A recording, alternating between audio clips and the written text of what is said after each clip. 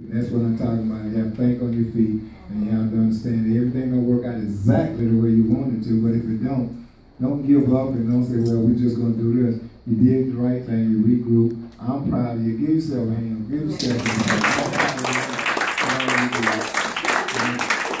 And the children, and enjoyed it as well.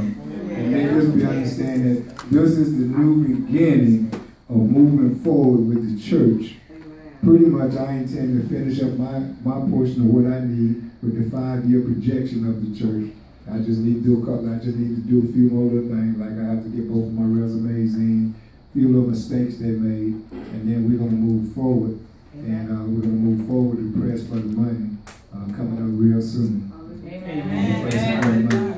And, and, and I, I serve a big God, so I up, I up, I up the ante from three million to four million.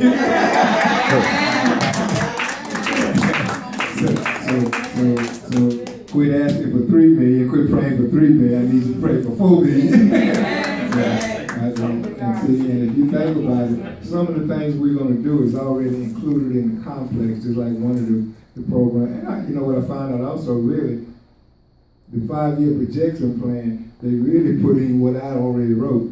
90% mm-hmm. of it is what I wrote, but they put it in the right format and they added some other things. And that's what we were doing. As I was reading, I told my wife, that's what I wrote.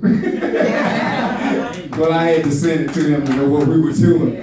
But they put it in a better, they put it in the right format, and then they add some things and did some things to make it, to make it look very, and it's very professional. It's very professional. And I applaud them on it. It's very professional. We need to get ready to understand as we move forward. I'm gonna move back on some things because I want you all to move forward on some things. And I understand that you are the leaders in the church. You are the ones that's gonna be out in the public, gonna be out there leading and there's a lot more we're going we're going we're going to have going. There's a lot more getting ready to happen. But I need everybody to be in the right frame of mind. See, we can't go hey, we can't go forward half stepping and not committed.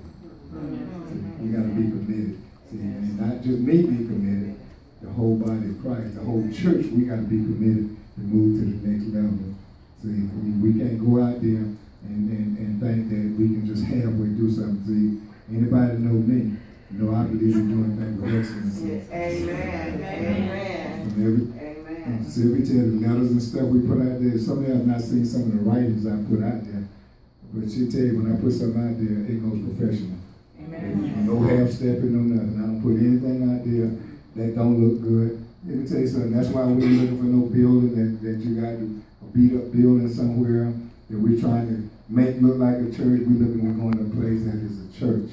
Amen. You know, I believe that God is a God that owns everything, has everything, and He's a God of excellence, and that's what we want to come before Him with excellence. And, and if you ever think about anything go out in go out in the public, I'm very particular about what goes out in the public. So I don't want nobody putting out anything out there that I don't see first. Yeah. Because my thing is, everything we do, and we've done it, believe me, we've got money We've got money from major companies just by letter, and then we didn't even have a 501c. and we, and when I say company, I'm talking about McDonald's, grocery stores, I think Walmart too, didn't Walmart? Walmart, Kroger's. I know major companies gave us stuff.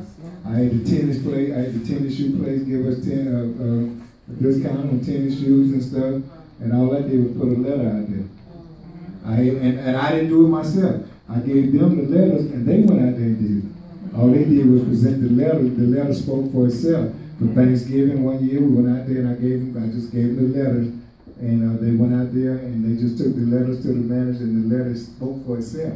We wouldn't even, we didn't even have, uh, uh, we didn't even have 503, 503C status where they could write it off. They gave it to us, they couldn't even write it off. it gave us a lot, yeah. It gave us a lot, and they couldn't even write it off. So that's what I'm saying. You know, when everything we do is, is going to be done with excellency. And so, and whatever we do, we're going to speak for, we're going to speak for the excellency of God. We don't have put nothing out. Everything goes out very professional. Every letter, every writing, and, and I'll bring some of it sometime. I don't know if you still have some other than that. But I we do. I show you the letters and the writing. Everything goes out professionally. Nothing is done halfway. Nothing is done that does, do not speak for the quality. We actually do not speak for the quality of the church. Because when people see stuff out there, they give according to the way you look and what you do. See, you coming out there, and let me tell you something, and those letters I gave, I ain't begging nobody for anything. Yeah, didn't beg. I didn't beg anybody, but I put it in such a manner that they respect what we was doing and gave. See? And that's the same thing even in this even in this letter book that I'm doing for the church. I ain't begging nobody for no four million dollars. I'm not begging anybody. You know, what I'm doing is that letting them know that this is what we need and God prick your heart and touch your heart. See, because we're gonna do what we need to do. So we're not begging anybody, but I'll let them know in the letter. I'm not begging you for anything. See, that ain't, that ain't, the way, that ain't the way God operates. We ain't begging nobody for anything. You see, what we're doing is we and I'll read the, I should bring the letter to you, show what I wrote. You know, on the letter when we're asking for the funds.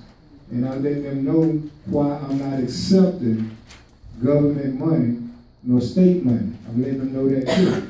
Because nobody's going to tell me how to teach and preach the word of God. Because I'm a firm believer that if somebody has an investment in your life, they got some say so in your life. See? And ain't nobody got no say so in this church but God. Amen. Only only person got say so, and when God say something to me, I tell you what He says. And that's the way we go. That's the way we go. So everything we're gonna be doing, like I said, we, we, we're gonna do with excellency, and we ain't begging nobody. And because we know that the let me tell you something. I, I talked to my wife. Anybody here saw the uh, saw the uh, Super Bowl?